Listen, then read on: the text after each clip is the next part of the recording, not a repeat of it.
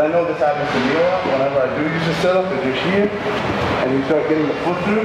But maybe you'll even get his arm up, but then he starts to like put pressure on that side. And then you feel kind of stuck in this position. Like you kick up and you feel stuck. But look at my right arm, the arm that's grabbing the, the hamstring. I'm just gonna limp arm out and get my head away. Now we know it's here already. Do I have to, you know, the whole our whole world of attacking this this arm is, is there. But I also want to show you that I can go to his hand and I start to use that to slide my foot through. Now if I want, I can I can play this kind of half spider guard position, or I can loop my heel over and go to the triangle anyway. So you can still get to the triangle despite the fact that he's pressuring you, which usually discourages the triangle. When we think triangle, we typically think we need a ton of space. So let's say I'm here, I have my foot inside, especially if you're long leg, you feel, man, I need, I need a dramatic amount of space to get a triangle. But the truth is, you just need, you don't need this like height. You don't need this height to get it. You just need space. So if he drops his weight here, I can still manufacture the space. I just have to do it on a lateral plane. I don't have to do it in terms of height. Now just watch your partner's face. You're gonna knee, and then start to open your arm as, as far as you can, and just snake your foot through the gap.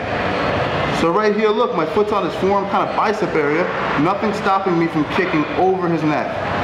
Okay, now the only thing that would prohibit me from doing that uh, is if he keeps a ton of pressure on this side, right? It might stop me from being able to pull my foot through. See that? I feel that. But where would we go if that were the case? And I'm, I'm not going to teach this in depth, but omoplata and that, the whole series we have on this arm, I'm not going to teach it. I'm just going to reiterate, pinching on the same side. This whole world here is open tails, which I think is, you know, I would argue that you should go to this probably first, especially in a real fight. You should go to that. But um, but again, let me just get your, your wrist for one second. So, but if I do end here, and you catch him by surprise, it's easy to hook over right here. See that? I'll just clean up the triangle really quickly. I'm grabbing the head, going back to the leg. What's the most important detail is that both of my heels turn out towards the arm. See this arm, this right arm? My heels are gonna turn in that direction. And then watch my left leg. You ready for my left leg? I'm gonna slow down. Look at my left leg. Where's my left leg placed? In front of the shoulder.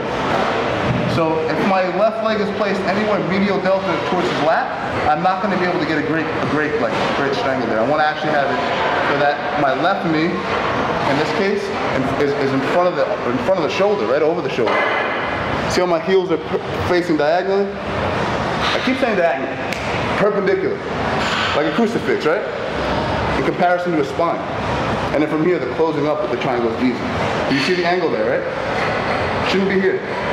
Should be here and your butt should be in the air, and then you close it for the finish. Uh, you guys want to see it one last time? Yeah. One more time? All right, let's get it. So, I won't break this down too much, right? We already did this hand on that. Angle. Flip through. He's a tough guy, he puts a lot of pressure. I need lateral space. I need lateral space. Grab the hand, knee inside, foot on the bicep.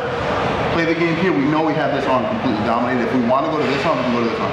If you want the triangle still within the context of sport jiu-jitsu, triangles are a great option. Within the context of a real street fight, or an MMA fight, I think triangles are probably not the best option. Do they work? They work. But it's, it's my own experience. My last fight, the guy escaped the triangle. I had him in a dead to right triangle, and he got out in the last round. So, and it's very exhausting. So I would suggest maybe not going for the real fight. Obviously, sport jiu-jitsu, especially with a gi on, there's so much friction. It's, it's, it's definitely a good option.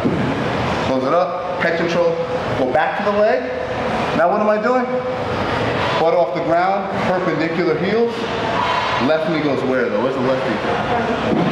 Front of the shoulder. See? Get the tap. Easy guys. Let's get it on three everybody. One, two, three.